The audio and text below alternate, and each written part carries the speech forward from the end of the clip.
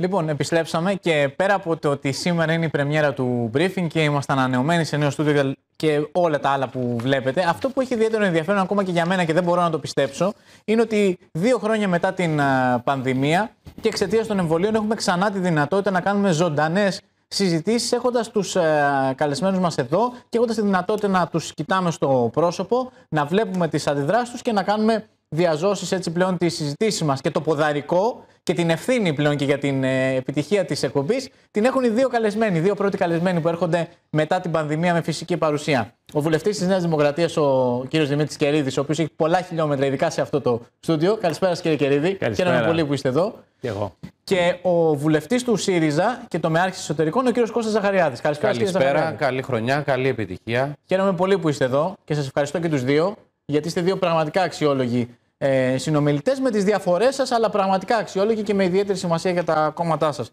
Και θέλω να πάμε κατευθείαν στη συζήτηση. Ε, είναι και πάνω στο αντικείμενό σας, κύριε Κερίδη, και αργότερα υπάρχουν και άλλα θέματα που είναι ακριβώς πάνω στο αντικείμενο του κύριου Ζαχαριάδη. Το λέω αυτό με την επιστημονική ιδιότητα, διότι ο κύριος ε, Μητσοτάκης σήμερα μίλησε για μια συμφωνία με τη Γαλλία, η οποία χαρακτηρίζεται ως ιστορική, στρατηγικής σημασίας και ε, λέει ότι είναι ουσιαστικά ό,τι καλύτερο θα μπορούσαμε να έχουμε φανταστεί σε αυτό το επίπεδο. Θέλω να μου πείτε και επιστημονικά και πολιτικά τι σημαίνει αυτό το ό,τι καλύτερο, ένα, και ένα δεύτερο, ε, αν υπάρχουν κάποια τροτά σημεία σε αυτή τη συμφωνία, με δεδομένο ότι βλέπουμε ότι η αντιπολίτευση και όχι μόνο η αξιωματική, η κυρία Γεννηματάκη λέει ότι λείπει εθνικό σχέδιο, εθνική στρατηγική, αλλά και ο ΣΥΡΙΖΑ λέει ότι θέλει συγκεκριμένες διευκρινήσεις προκειμένου να την υποστηρίξει. Καταρχάς να σας ευχηθώ και εγώ καλή νέα σεζόν ε, και όλα τα καλά τώρα που ξεκινάτε. Πραγματικά πολύ σημαντικές αυτές οι ενημερωτικές εκπομπές και αυτός ο τηλεοπτικός διάλογος ε, σε επίπεδο και με επιχειρήματα. Τον έχουμε ανάγκη, λοιπόν, ειδικά αυτό. Καλές συζητήσεις. Ε, τώρα ο Κυριάκος Μητσοτάκης στο Υπουργικό Συμβούλιο σήμερα είπε το αυτονόητο, ότι πρόκειται για μια πολύ μεγάλη εθνική επιτυχία, κάτι το οποίο η χώρα μας επιδίωκε εδώ και πολλά χρόνια, δεκαετίες θα σας έλεγα, μια σαφή ξεκάθαρη ρήτρα αμοιβαία συνδρομής από την ισχυρότερη στρατιωτικά χώρα της ε, Ευρώπης που είναι η Γαλλία, πυρηνική δύναμη, μόνιμο μέλος του Συμβουλίου Ασφαλείας με δικαίωμα βέτο στον ε, ΟΗΕ και βέβαια με έναν στρατό που μπορεί και επιχειρεί εκτός συνόρων όπως κανένας άλλος ευρωπαϊκός, ιδίως με την αποχώρηση της Βρετανίας, η Γαλλία βγαίνει μπροστά. Άρα έχουμε μια σαφή εγγύηση για την ελληνική επικράτεια απέναντι σε, ένα, σε μια Τουρκία προκλητική, επιθετική, αναθεωρητική, με ένα ξεκάθαρο κάζους μπέλι, με μια απειλή πολέμου που μας τη λένε και μας τη ξαναλένε από την Άγκυρα. Και δεύτερον ανοίγουμε ένα δρόμο για περαιτέρω ευρωπαϊκή συνεργασία, ενδυνάμωση και θα σας έλεγα εξισορρόπηση του ΝΑΤΟ, διότι το ΝΑΤΟ 50 χρόνια, 70 ε, χρόνια από το 49 και μετά που ιδρύθηκε παραμένει αμερικανοβαρές να πούμε και χρειάζεται να ενισχύσουμε ε, την αυτόνομη γεωστρατηγική παρουσία το... της Ευρώπης. Άρα και ευρωπαϊκό και ευρωατλαντικό και απόλυτα εθνικό. Αυτή η συμφωνία μας κάνει πιο ισχυρούς απέναντι στην Τουρκία, μας κάνει να διαπραγματευόμαστε με άλλους όρους, γιατί συνεχίζουμε να διαπραγματευόμαστε. Ένα και ένα δεύτερο κομμάτι, το οποίο θα το συζητήσουμε με τον κύριο Ζαχαριάδη αμέσως μετά. Αυτή η συμφωνία έχει τροτά σημεία, έχει σημεία που πρέπει να διευκρινιστούν. Βλέπω όχι μόνο την αξιωματική αντιπολίτευση, βλέπω και τον κύριο Βενιζέλο να λέει κάτι πολύ συγκεκριμένο. Τις διευκρινήσεις αυτές για την ΑΟΣ, την υφαλοκρηπίδα και τη συνδρομή της Γαλλίας σε περίπτωση που υπάρξει απειλή για την ναι. εθνική μας κυριαρχία. Ο κ. Βενιζέλος χαιρέτησε τη συμφωνία και μίλησε για μια ναι. μεγάλη επιτυχία. Και φυσικά ήταν στην και, και ο ΣΥΡΙΖΑ. Και ο ΣΥΡΙΖΑ. Και... Δεν έδειξε μικροψυχία. Δηλαδή θέλω να πω ότι και ο κ. Κατρούγκαλο είπε ότι είναι σε καλή κατεύθυνση, αλλά θέλουμε διευκρινήσεις. Να δεν την ψηφίσουν. Εκτός και αν δώσετε τις διευκρινήσεις. Θα μας το πει ο κ. Ζαχαριάδης, αλλά θέλω να μου απαντήσετε τη δική σας Νομίζω ότι ο ΣΥΡΙΖΑ αναλαμβάνει μια τεράστια ευθύνη, όχι μόνο απέναντι στους ψηφοφόρους, αλλά απέναντι στην ιστορία. Με αυτή την μεμψήμερη αντιφατική, ε, κατώτερη των περιστάσεων στάση, αρνητική ψήφου σε μια συμφωνία που δυναμώνει τη χώρα. Κοιτάξτε, εγώ ε, μακριά από μένα οι θριαμβολογίε. Είμαι διεθνολόγος και ξέρω πώς λειτουργούν οι διεθνείς σχέσεις. Στις διεθνείς σχέσεις ε, ε, πάνω και πρώτα απ' όλα οι δικές σου δυνάμεις. Αν περιμένεις από τρίτος να κάνουν τη δουλειά τη δικιά σου, είσαι επικίνδυνα αφελής. Επικίνδυνα αφελής. Άρα δεν τρέφουμε αυταπάτες για το πώς λειτουργεί το διεθνές σύστημα. Ωστόσο, μέσα στα πλαίσια των διεθνών συσχετισμών, έχουμε πάρει μια ξεκάθαρη δέσμευση, όσο ξεκάθαρη μπορεί να υπάρξει στις διεθνείς σχέσεις. Από μεριάς Γαλλίας, η οποία έρχεται δυναμικά να καλύψει ένα κενό εδώ στην Ανατολική Μεσόγειο που έχει δημιουργηθεί, το οποίο διαρκώς διευρύνεται και δημιουργεί προβλήματα, διότι έρχονται διάφοροι τυχοδιώκτες να το εκμεταλλευτούν.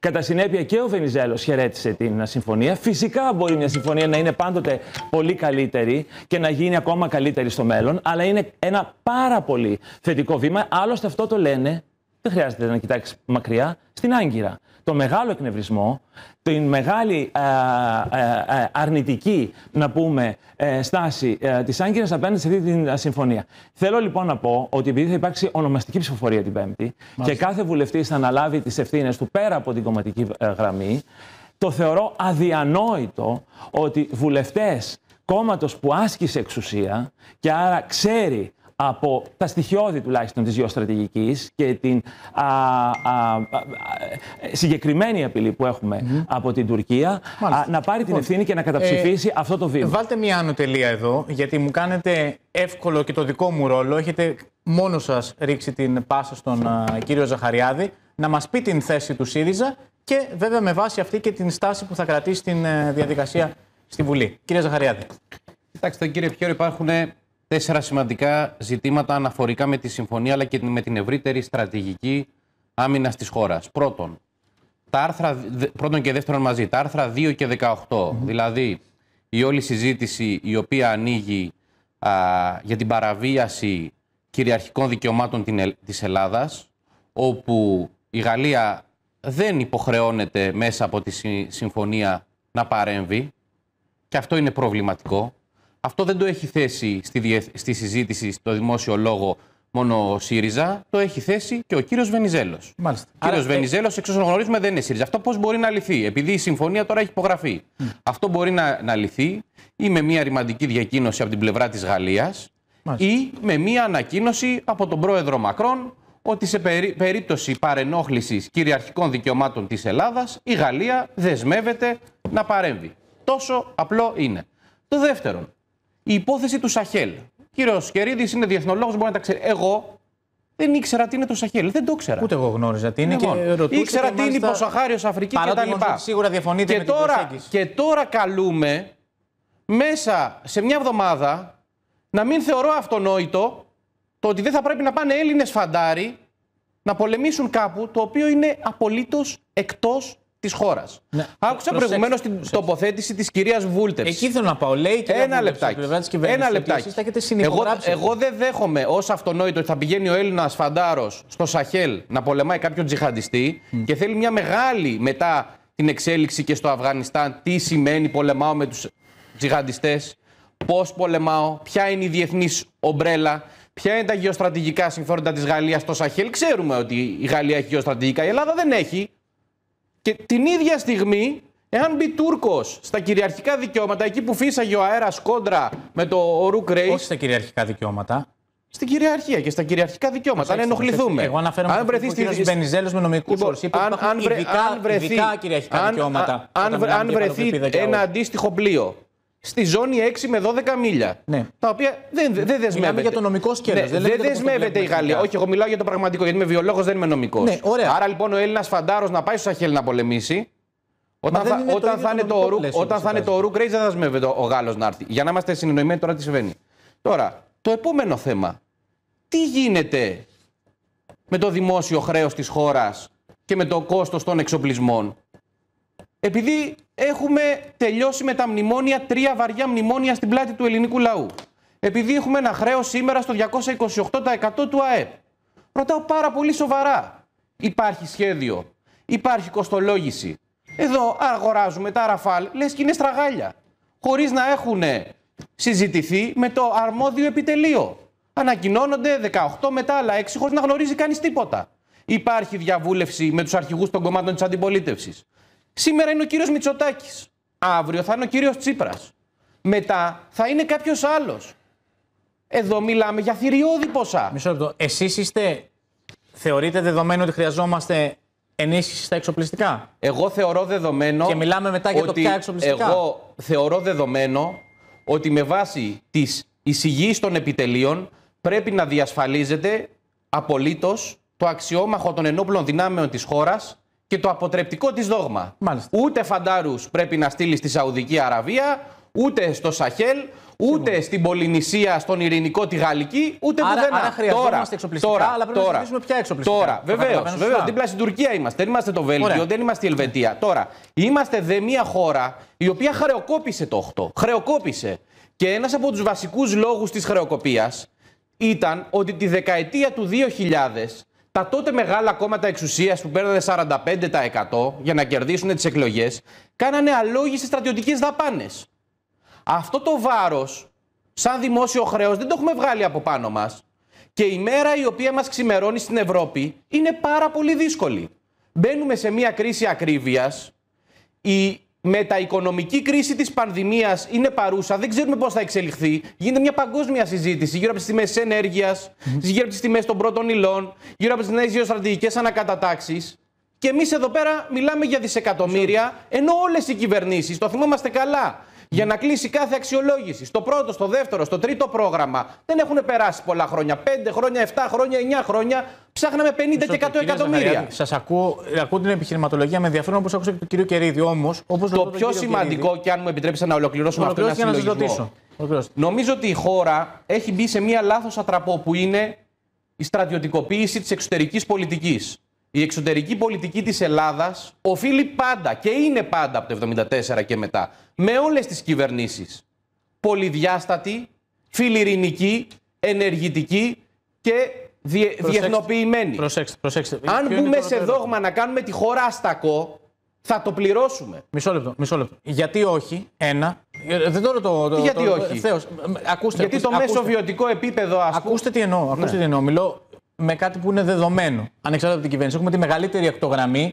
Θεωρείται αλόγιστο, για παράδειγμα, να ενισχύσουμε το πολεμικό ναυτικό. Ένα. Και ένα δεύτερο, το οποίο έρχομαι τώρα στην ουσία, για να καταλάβω την στάση που θα έχει η αξιωματική αντιπολίτευση στη Βουλή, είναι τι θα κάνετε τελικά, πώς το βλέπετε, θα καταψηφίσετε, θα κάνετε αυτό που λέει ο κύριος Κερίδης, γιατί είπα στον κύριο Κερίδη όταν μιλούσε ότι αφήστε να το πει ο κύριος Ζαχαριάδης. Αλλά τώρα θα ήθελα να το ακούσω από εσάς. Θα, θα απαντήσω ευθέως. Καταρχήν, μαθήματα αντιπολίτευσης από αυτούς που για σημαντικά ζητήματα της εξωτερικής πολιτικής, όπως το μακεδονικό, μας λέγανε ότι ανταλλάξαμε το μακεδονικό με τις συντάξεις και ότι προδώσαμε τη Μακεδονία, δεν δεχόμαστε.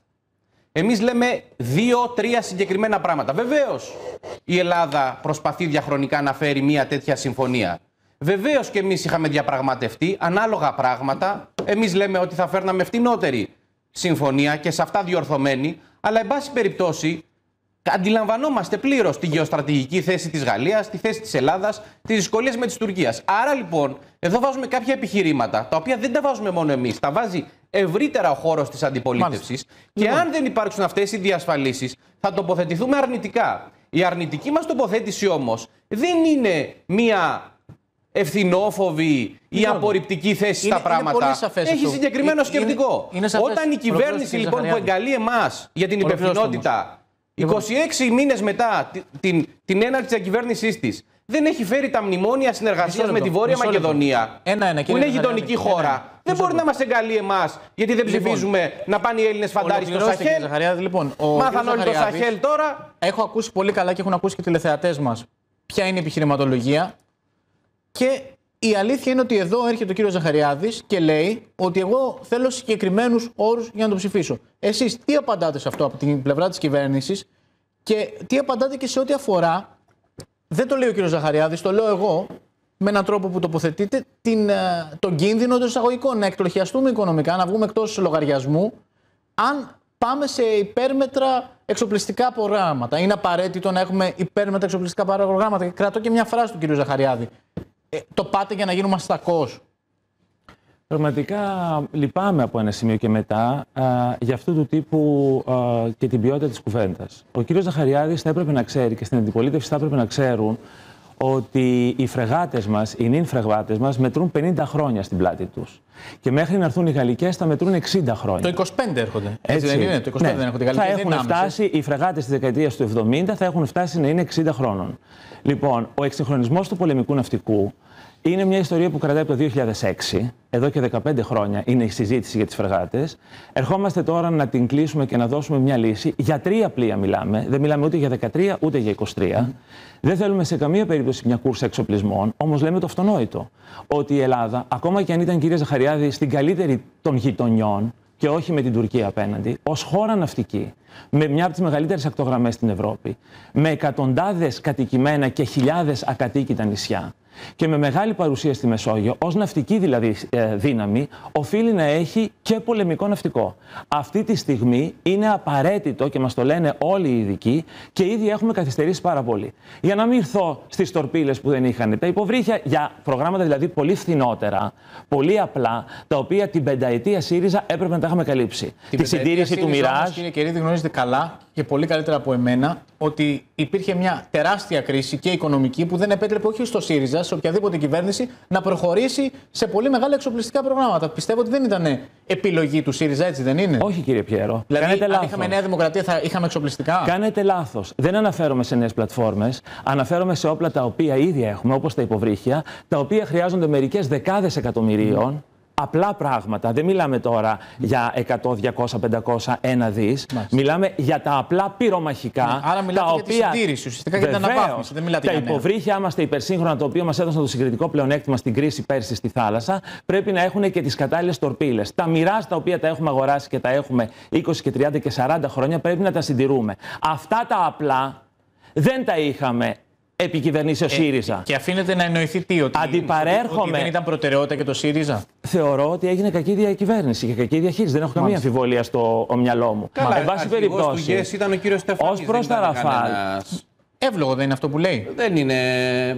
Ο κύριος Στεφανή ήταν Είναι πονηρό. Είναι πονηρό. Δεν είναι καθόλου αλλά... πονηρό. Γιατί; Δημοσιογραφικά το λέω. Απ' την άλλη το υιοθετώ. Ρωτώ. Το παίρνω κι εγώ και το παίρνω και το τσιμπάω και λέω Αφού Ποιοι ήταν οι αρχηγοί των ενόπλων Εγώ μιλάω λοιπόν για το. Κύριε Εμείς δεν κάναμε αναβάθμιση στα F-16 και τα κάναμε Viper. Δεν ήταν να γίνει Viper. Για, ξεκινήσει, ε, κύριε Ζαχαριάδη. Άρα.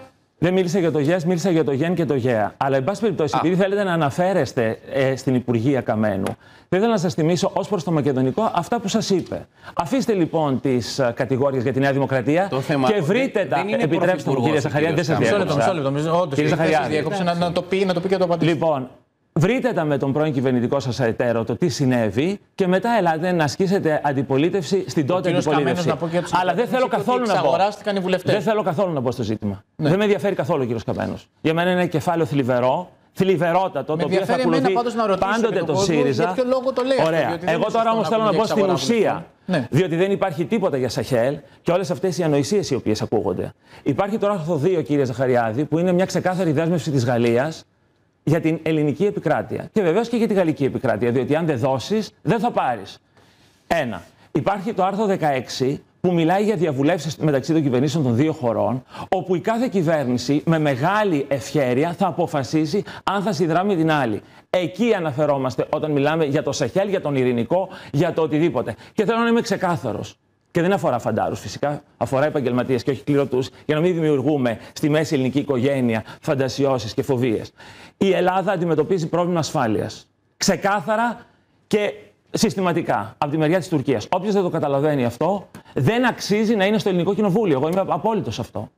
Έχουμε μεγάλο πρόβλημα απέναντί μας. Και θα κάνουμε ό,τι είναι δυνατόν η ελληνική κυβέρνηση και συνολικά ο ελληνικός λαός, και θεωρώ και όλες οι ελληνικές πολιτικές δυνάμεις, εγώ δεν κάνω διαχωρισμούς, καθόλου διαχωρισμούς, θα κάνουμε ό,τι είναι δυνατόν για να προασπιστούμε μέχρι κεραίας τα κυριαρχικά μας δικαιώματα. Δεν θεωρείτε ότι αυτή η συμφωνία για να έχει αυτό το βάρος που λέτε, που το έχει, πρέπει να ψηφιστεί από όλες τις πολιτικές δυνάμεις; Και αν είναι έτσι και βάζουν όρους. Γιατί δεν ικανοποιείτε με να το δεν προσπαθείτε να ικανοποιήσετε. Διότι η γλώσσα που χρησιμοποιεί η συμφωνία είναι η πιο ξεκάθαρη, η πιο πλήρης, η γλώσσα την οποία έχει και η ανάλογη ρήτρα μεταξύ Γερμανίας και Γαλλίας, δεν ανακαλύπτουμε εμείς των τροχών. Είναι κάτι το οποίο διαπραγματευόμαστε δεκαετίες τώρα με τους Γάλλους. Ξέρετε, η Γαλλία δεν είναι εύκολο να το περάσει από τη δικιά της Εθνοσυνέλευση. Έχουν και αυτοί βουλευτές. Διότι και εκεί θα κρυθεί ο Μακρόν και θα πρέπει να υπερασπιστεί, γιατί έρχονται τα γαλάκια στο Αιγαίο και στην Ανατολική Μεσόγειο. Αυτό που κατάφερε ο Μητσοτάκης με πάρα πολύ γρήγορα αντανακλαστικά να εκμεταλλευτεί την Καμπούλ και την ΑΟΚΟΥΣ και την Αυστραλία και να φέρει τους Γάλλους έφνης μετά τη συνάντηση των Αθηνών να δώσουν αυτά που δεν διανοούνταν κανείς ότι θα παίρναμε ποτέ από τους Γάλλους είναι μια πάρα πολύ μεγάλη ε, επιτυχία. Και θεωρώ ότι οι ελληνικές πολιτικές δυνάμεις θα πρέπει ενωμένες να στείλουν αυτό το μήνυμα. Δεν θέλουμε σε καμία περίπτωση ούτε τους αστακούς ούτε τις στρατηγικοποιήσεις. Το έχουμε αποδείξει. Η ελληνική εξωτερική πολιτική είναι βασισμένη στο διεθνές δίκαιο. Έχουμε προτείνει λοιπόν, συγκεκριμένα πράγματα στους Τούρκους για τη Χάγη και ούτω καθεξής. Δυστυχώς για τελείως μικροκομματικού λόγους, διότι εδώ στην αρχή βγήκανε και την υποστήριξαν τη συμφωνία. Είπατε για τον κύριο Κατρούγκαλο. Πολύ σωστά. Ναι, γιατί ναι, το Βεβαίως. Και εγώ δεν ότι δεν είναι ένας στόχος για τη χώρα. Έρχονται τώρα. Σημεία. Σωστά. Ούτε Έρχονται τώρα. Σας είπα ούτε ξεπουλημένο ούτε τίποτα. Έρχεστε τώρα να την καταψηφίσετε. Εγώ αυτά στο παρελθόν. Έρχεται και Όχι από τον κύριο Κερίδη σίγουρα. Ναι. Ε, όχι από τον κύριο Κερίδη προσωπικά, αλλά δεν είναι προσωπικό το θέμα. Ναι. Καλά, τα έχετε κάνει τώρα. Τον κύριο Κερίδη, λοιπόν, τι έχουμε κάνει; Τους ανταλλάξαμε το μακεδονικό. Ανταλλάξαμε το μακεδονικό με τις συντάξεις. Ε, κύριε Ζαχαριάδη. Και μου λέτε τώρα για τον κύριο Μακρόν. Αυτά στον καμένο. Ο κύριος Μακρόν; Όχι, όχι, θα πάει ο κύριος Μακρόν να πει στη Γαλλική Εθνοσυνέλευση ότι να μας δώσουν οι χρεοκοπημένοι Έλληνες 7,5 δις. Πώς θα το κάνει αυτό ο κύριος Μακρόν; Δεν είναι 7,5 δις. Μάθετε τα νούμερα σωστά. Πώς είναι τα ραφάλ και οι φρεγάτες; Μία πρόταση. Πώς είναι τα ραφάλ και οι φρεγάτε. Θα σα πω αμέσω. Πείτε μου. Τα ραφάλ τα ψηφίσατε κι εσείς. Πόσα θα πάρει η Γαλλία από την Ελλάδα, Ή ανεξάρτητα το... τι ψηφίζω εγώ. Μιλάμε για 3 δισεκατομμύρια, συν 2 ναι. δισεκατομμύρια τα ραφάλ 5. Δεν είναι ούτε 7,5 ούτε 10. Μάθε τα νούμερα σωστά. Ωραία, 5 δισεκατομμύρια. Σε βάθος σε βάθος δεκαετίας. Σε βάθος δεκαετίας. Έρχομαι τώρα. Προσέξτε. Μισό χρόνο για να τον ακούσουμε και εκείνο. Διότι τα ψηφίσατε τα ραφάλ. Επανέρχεστε Αυτό δεν σημαίνει ότι δεν τα πληρώσει ο ελληνικός λαός. Λοιπόν. Δεν σημαίνει ότι δεν τα πληρώσει ο ελληνικός λαός. Φυσικά δεν τα πληρώσει ο ελληνικός ότι δεν θα πληρώσει τα S16. Από το ιστέρεμά του. Από το ιστέρεμά του. Όπως έχει πληρώσει όλα τα Εσείς θα πάνε στο τραπέζι εδώ πέρα. Και δεν θέλουμε να πληρώσει Για το ΕΚΑΣ εδώ πάλι θα πάνε στο τραπέζι. Και τώρα πετάτε τα δισεκατομμύρια. Για να είναι ευκρινές αυτό που λέμε. Βεβαίως. Μόνο μία πρόταση τελευταία. Και κλείστε το όμω. Για να μην πληρώσει ωστόσο παραπάνω. Θέλουμε δίπλα σε αυτά τα 24 λοιπόν. ραφάλ και τα τρεις φρεγάτες να υπάρχει και το Σαλ Ντεγκόλ, το πυρηνοκίνητο αεροπλανοφόρο της Γαλλίας. F35 θα πάρουμε. Και λοιπόν, όλοι τα υπόλοιπα όπλα της πυρηνικής Γαλλίας.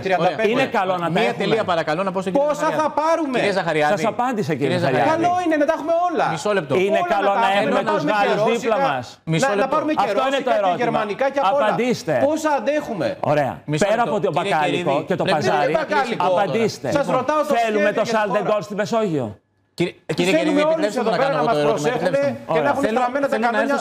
Το θέμα είναι τι δίνουμε, τι παίρνουμε. Για να κλείσουμε αυτή τη συζήτηση, για αυτό το θέμα της συζήτησης τουλάχιστον, θέλω να μου πείτε αν έχετε πιστεί, αν έχετε γίνει σοφότερος με αυτά που λέει ο κύριος Κερίδης, από ποια άποψη, από την άποψη της ανάγκης που τονίζει ο κύριος Κερίδης να υπερψηφιστεί από όλες τις πολιτικές δυνάμεις αυτή η συμφωνία; Κοιτάξτε, εγώ ήμουνα σαφής και ο πρόεδρος του κόμματος σήμερα το απόγευμα στη συνεδρία της κοινοβουλευτικής ομάδας ήταν σαφής. Mm. Εμείς δεν ερχόμαστε στη συζήτηση με ένα πλήρη αρνητισμό. Θέλουμε αυτές τις δύο διευκρινήσεις και αν αυτές γίνουν αποδεκτές, επανεξετάζουμε τη στάση μας. Ούτε κανένα λέμε προδότη, ούτε κανένα τον απαξιώνουμε. Βάζουμε ερωτήματα, τα βάζουν και άλλα κόμματα του Κοινοβουλίου. Κυβερνήσαμε την Ελλάδα. Θέλουμε να την κυβερνήσουμε ξανά. Καταλαβαίνουμε ότι ό,τι αφήνει ο ένας, το βρίσκει ο άλλος. Επειδή όμως αυτό ισχύει και στο στρατό και στην οικονομία και στις διεθνείς σχέσεις, οφείλουμε εκεί που θεωρούμε ότι υπάρχει ένα πρόβλημα, χωρίς κραυγές, να προειδοποιήσουμε και να μιλήσουμε τη, γλώσσα, τη γλώσσα της λογικής. Όταν τη γλώσσα της λογικής τη μιλάει για παράδειγμα και ο κύριος Βενιζέλος, δεν νομίζω ότι είναι σιριζαϊκές τρέλες, αλλά κάποια πράγματα αρχίζουν. Ο κύριος Βενιζέλος όμως συνεχάρει την κυβέρνηση. Δηλαδή, θέλω να πω ότι ο κύριος Συνεχάρει, δεν, είναι αυτό το θέμα. Δεν, κύριε Πιέρο, δεν, είναι, δεν είναι το θέμα, δεν είναι το, το, το θέμα ο τονισμός. Το θέμα είναι το ερώτημα από την Πέμπτη και μετά η Ελληνική Βουλή θα κυρώσει κάτι. Ναι. Το οποίο δεσμεύει από εδώ και πέρα όλες τις κυβερνήσεις. Δεν ξέρω εγώ πώς θα είναι ο πολιτικός χάρτης σε 10 χρόνια. Βενιζέλου. Ε; Είσαστε στη γραμμή Βενιζέλου. Δηλαδή, αν ο κύριος Βενιζέλος πει καλημέρα και είναι 8 ώρα το πρωί, δεν του πω καλή νύχτα. Όχι, δεν είμαι στη γραμμή Βενιζέλου, είμαι στη γραμμή Τσίπρα και Ζαχαριάδη. Μιλάω με, με, τη γνώμη μου. Αλλά, αλλά λέω όμως, ε, ναι, Άμα πει κάτι ο κύριος Βενιζέλος, δηλαδή εσείς δεν τα ακούτε ε, αυτό το πράγμα. Σχέση... Με πολύ προσοχή. Τον κύριο Βενιζέλο, εγώ τον ακούω πάντα. Και εγώ. Εσείς δεν τον ακούγατε. Σε σχέση, εγώ δεν συμφωνώ μαζί του.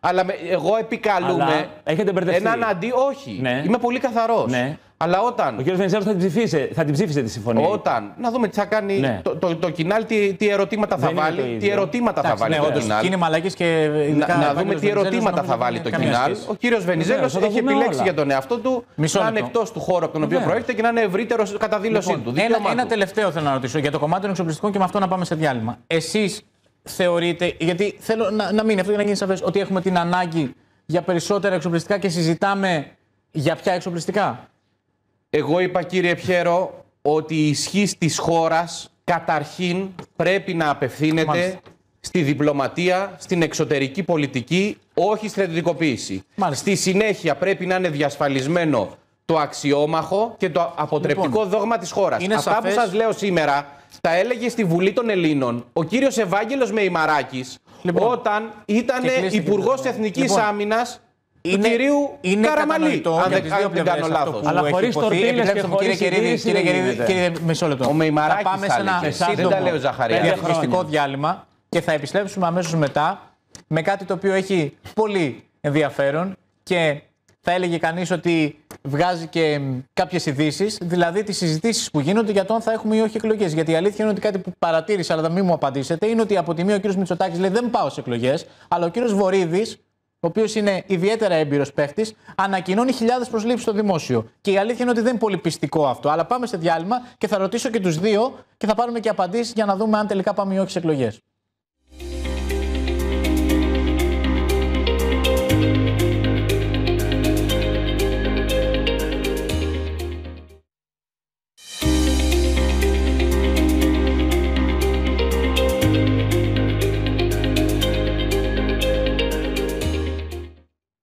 Λοιπόν, επιστρέψαμε και κλείνοντας το κομμάτι που αφορά τα εθνικά θέματα και την εξωτερική μας πολιτική, έχει ενδιαφέρον να δούμε σε ποια σκακέρα συζητάμε και σε ποιο πολιτικό χρόνο. Και θα πάω ε, στον κυβερνητικό βουλευτή, στον κύριο Δημήτρη Κερίδη, για μέσα μετά και στον α, κύριο Ζαχαριάδη, για να δούμε πώς το βλέπει η αξιωματική αντιπολίτευση. Να ρωτήσω το εξής.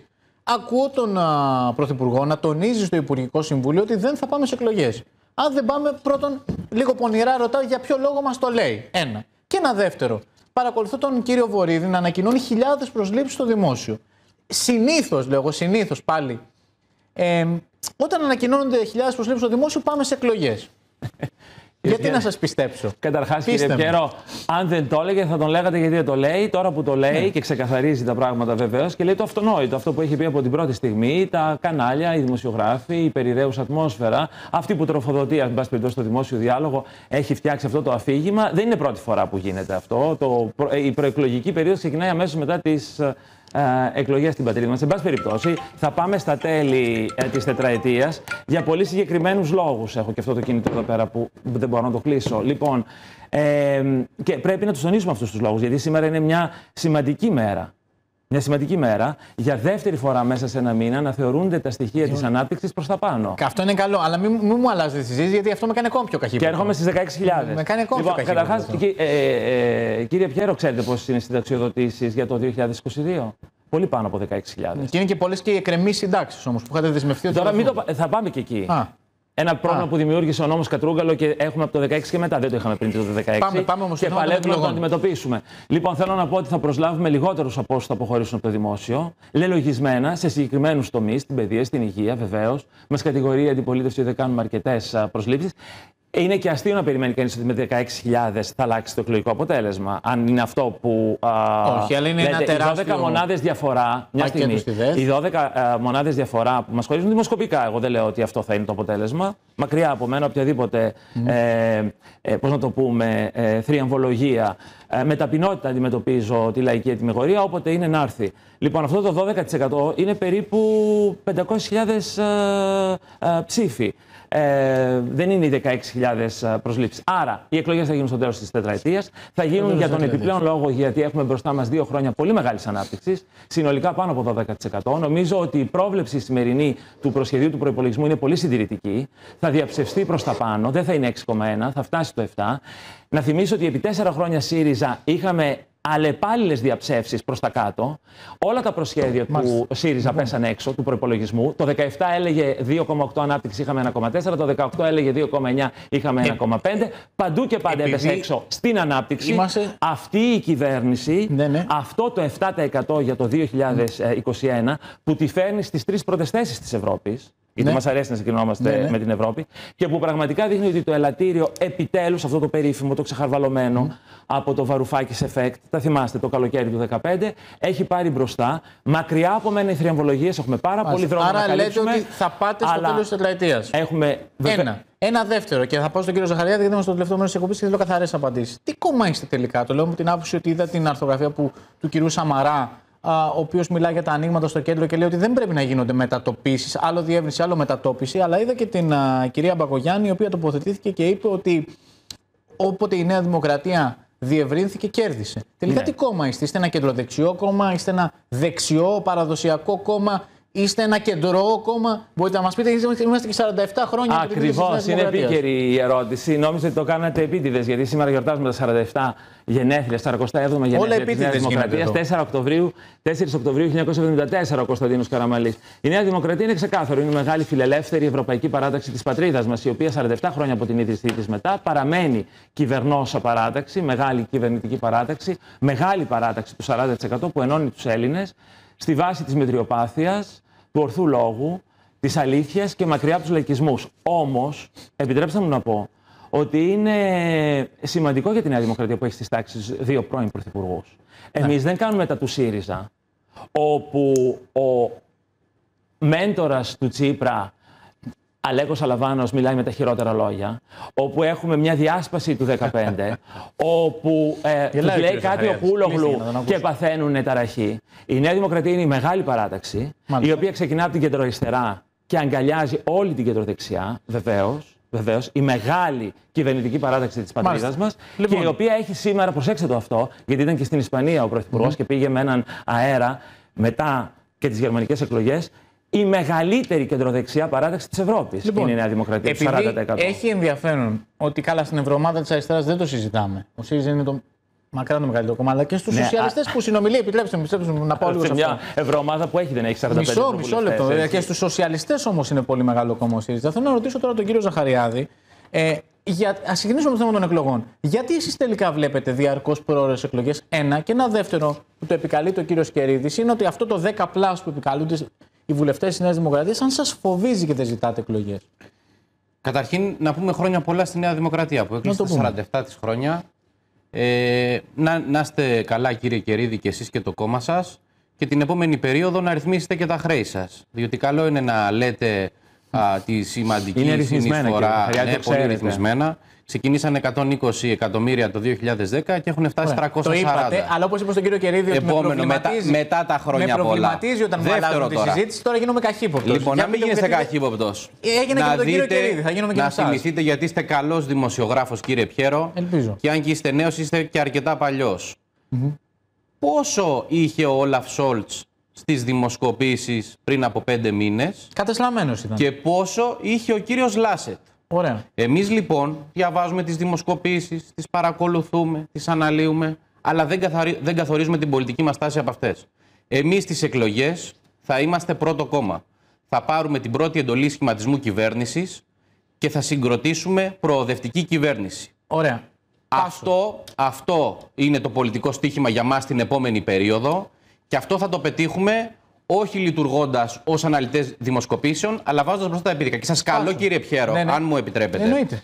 Επειδή το μείζον ζήτημα του πολιτικού συστήματος αυτήν την περίοδο στη χώρα είναι το θέμα της ε, ανόδου ξανά της ακροδεξιάς. Να αφιερώνεται κάθε μέρα, σε κάθε εκπομπή, τουλάχιστον 5 με 10 λεπτά για να μιλάτε για την ακροδεξιά, το φασισμό, τον ναζισμό, τη φτώχεια, τα αδιέξοδα, ναι, τον κοινωνικό αποκλεισμό, επειδή... τι ανισότητε, όλα αυτά που τρέφουν το αυγό του φιδιού. Ε, Διότι ανεξάρτητα τι θα γίνει με το ΣΥΡΙΖΑ ή τη Νέα Δημοκρατία, η Ελλάδα πρέπει να έχει τυχαίνει... κλειστεί την πόρτα στους Ναζί. Νομίζω ότι δεν διαφωνεί κανείς αυτό. Ε, και επειδή τυχαίνει Εγώ να, να το κάνουμε. μαθητής δημόσιου σχολείου στον Πειραιά, γνωρίζω πολύ καλά τι είναι λοιπόν, αυτό που λέτε. Το δεύτερο. Γιατί πρέπει να έχεις πάει και σε δημόσιο σχολείο για να τα καταλαβαίνεις αυτά. Το λέω αυτό ειδικά στον Πειραιά. Όσοι το ναι, έχουμε βιώσει. Το λέτε αυτό, και ειδικά στη Νέα Δημοκρατία που δεν έχει και πολλούς που να έχουν αποφύγει στα δημόσια σχολεία. όχι, εννοώ, εννοώ, εννοώ, δεν, δεν είναι προσωπικό. Εννοώ για το Πάμε κομμάτι τώρα του ναζισμού και πώς βγαίνει μέσα από την οπαδοποίηση. Στον αρχηγό Πάμε τώρα. Δημόσιο σχολείο τέλειωσε ο Τσίπρας ναι, και δημόσιο πανεπιστήμιο όπως τελειώσαμε και εμείς. Δημόσιο σχολείο. Εμεί πανεπιστήμιο δημόσιο λοιπόν, Μην μου κάνετε Θέλω να κλείσουμε έχοντας καταλάβει τι τον κομπασμό. Όχι, δεν λαϊκίζουμε. Μου είπατε για το Αλλά όταν η μισή κυβέρνηση του κυρίου Μητσοτάκη είναι από το κολέγιο, κάτι λέει αυτό. Ναι. Καλά, όταν, τώρα, όταν, όταν η μισή κυβέρνηση Τσίπρα. του Τσίπρα είναι από το δημόσιο σχολείο στο Μαρούσι, στη Νέα Ιωνία, στη Φιλαδέλφια, και αυτό κάτι και λέει. Αυτό δεν είναι Διότι τα παιδιά του δημόσιου σχολείου έχουν δικαίωμα και αυτά Ωραία. να στείλουν τον αντιπρόσωπό τους και να τους κυβερνά. Κύριε Ζαχαριά, δεν λέει λοιπόν, τίποτα αυτό στην ερώτησή μου όμως. Λέει πάρα πολλά κατά την άποψή μου. Επιτρέψτε μου, στην ερώτηση λέω. Γιατί είπατε για προοδευτική διακυβέρνηση και λέω τότε εξής και θέλω να πάρω απάντηση σε αυτό, γιατί κλείνουμε. Προοδευτική διακυβέρνηση. Έρχεται ο νέος ε, ή ο νέος αρχηγός ή η κυρία Γεννηματά με νέα εντολή και σου λέει: Ωραία, Κώστα Ζαχαριάδη, ωραία Αλέξη Τσίπρα, ο τότε αρχηγός του κινήματος αλλαγής, όποιος και αν είναι, Θέλω προοδευτική διακυβέρνηση, αλλά δεν θέλω απαραίτητα εσένα. Δεν θέλω απαραίτητα εσένα. Το ρωτάω έτσι. Κύριε Κατανοητά. είναι πάρα είναι ο όρος για την προοδευτική διακυβέρνηση να είναι ο κύριος Τσίπρας στο τιμόνι; Νομίζω ότι η Ελλάδα δεν μπορεί να είναι μία εξαίρεση σε σχέση με το τι γίνεται σε άλλες ευρωπαϊκές ναι, χώρες. Οι άλλες χώρες έχουν προοδευτική διακυβέρνηση. Καταρχήν, λέτε, ακούστε, ακούστε, ακούστε νομίζω ότι έχει ιδιαίτερη σημασία και δεν είναι για τον Τζίπρα προσωπικά. Στην Ισπανία τι έγινε; Ο αρχηγός του πρώτου κόμματος ανέλαβε πρωθυπουργός, ο αρχηγός του μικρότερου κόμματος αντιπρόεδρος της κυβέρνησης, υπουργός εσωτερικών, εξωτερικών, άμυνας κτλ. Το ίδιο στην Πορτογαλία. Είπε κανένας στον Όλαφ Σόλτς, είτε από τους ε, φιλελεύθερους, είτε από τους φιλελεύθερους, είτε από τους πράσινους, ότι δεν θα είσαι εσύ καγκελάριος, θα είναι κάποιος άλλο. Τώρα κυβερνάω. Είναι αυτονόητο τώρα, κατά τη γνώμη Τώρα θα κυβερνήσεις. Όχι με όρους. Γιατί είπε κανένας την κυρία Μέρκελ που βγήκε πρώτη. Τώρα θα κυβερνήσεις. Δεν θα κάνει. Μπήκε η κυρία Μέρκελ πρώτη ο συνεργάτης από τους Σοσιαλδημοκράτε. Είναι μια κυβέρνηση εθνικής συνεννόησης. Τώρα λοιπόν δεν ήταν εθνική συνεννόηση, έτσι συγκροτούνται οι κυβερνήσεις. Και η πρώτη κυβέρνηση της κυρίας Μέρκελ με τον κύριο Ρέσλερ πάλι τέτοια. Λέω λοιπόν και, λέω, ναι, λοιπόν, λέω, λοιπόν και κλείνω αυτό. Δεν το λέω προσωπικά για τον Τζίπρα. Ο Τζίπρα έγινε πρωθυπουργός, εκτιμώ ότι θα ξαναγίνει πρωθυπουργός. Είναι θέμα κοινωνικής λογοδοσίας και δημοκρατικής νομιμοποίηση. Η κυβέρνηση Σαμαρά Βενιζέλου δεν είχε πρόεδρο τον κύριο Σαμαρά της κυβερνήσεως και αντιπρόεδρο τον κύριο Βενιζέλο. Ωραία. Άρα, άρα με λίγα λόγια από ό,τι άρα, λοιπόν, Τσίπρας, άρα λοιπόν, άρα λοιπόν, θα είναι στο τιμόνι αυτής το θέμα δεν είναι, το θέμα, το θέμα δεν είναι ο Τσίπρας, τώρα δεν θέλω να παρέμβω στα εσωτερικά, είναι. η Γεννηματά, ο Ανδρουλάκης, ο Λοβέρδο, ο Καστανίδης. Δεν είναι αυτό. Το θέμα είναι να φύγει ο Μητσοτάκης. Αυτό είναι το θέμα της προοδευτική παράταξης. Λοιπόν, να ανασάνει η χώρα, αυτό είναι. Λοιπόν, δεν θα σταθούμε στα πρόσωπα. Πρέπει να φύγει ο Μητσοτάκης. Τι λέτε εσείς; Κοίταξε, τι να πω. Έχω.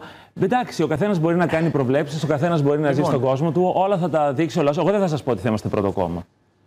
Δεν θα σας πω ότι είμαστε πρωτοκόμμα, θα σας πω ότι ο ελληνικός λαός θα αποφασίσει. Λοιπόν, Όποτε αποφασίσει. Ο ελληνικός λαός θα αποφασίσει, αλλά έχει λοιπόν, αποφασίσει. Με ταπεινότητα, με σοβαρότητα. Λοιπόν. Τη Γερμανία τη διαβάζει τελείως λάθος. Ε, μια πρόταση. Όχι, μου το ανοίξετε αυτό. Όχι μόνο αυτό, τη διαβάζει τελείως λάθος, διότι αν ήταν έτσι, ο Σόλτς θα ήταν σήμερα καγκελάριος. Είναι ανοιχτό λοιπόν, το παιχνίδι, θα δούμε τι θα γίνει. Κατά πάσα πιθανότητα θα είναι, αλλά τίποτα δεν σημαίνει. Το διαβάζει λάθος.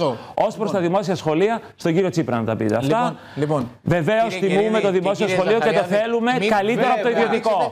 Εσείς τα στείλετε. Κύριε Ζαχαριάδη, σα άκουσα δεύτερη μεγάλη συζήτηση. Λοιπόν, πρέπει, πρέπει με σεμνότητα το κάνετε στον τηλεοπτικό χρόνο λοιπόν, να ρίξουμε. Θα πείτε λοιπόν στον αρχηγό σας να πάρει τα παιδιά του από τα ιδιωτικά σχολεία για να μην είσαστε υποκριτής και φαρισαίος και να τα στείλει στο δημόσιο. Πάμε λοιπόν. Πάει πολύ.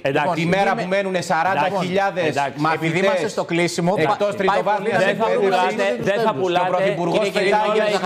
Παρακαλώ πολύ, λίγο παρακαλώ. Σε μένα δεν θα το πουλάτε αυτό και δεν θα διακόπτετε. Γιατί υπηρετείτε το δημόσιο Δεν είναι σωστό. Επιτρέψτε μου. σε μεγάλη να ρίξω τίτλους τέλους λες και έχουμε κάποια ακραία σύγκριση. Είναι καλός λοιπόν, διδάσκαλος. Αυτό είναι αλήθεια. Βεβαίως το υπηρετώ. Το ξέρω. Και το τιμώ. Και το αναγνωρίζω. από φίλο θα μου Εγώ λοιπόν θα σα αναγνωρίσω την υποκρισία. Οφείλω όμως να πω λοιπόν, ότι παρά το γεγονός λοιπόν, ότι θέλω να σας ευχαριστήσω πολύ και τους δύο. Η παράταξή σας το διαλύει το δημόσιο Κάνετε μεγάλο λάθος. Εγώ αυτό θέλουμε καλύτερα να κλείσουμε.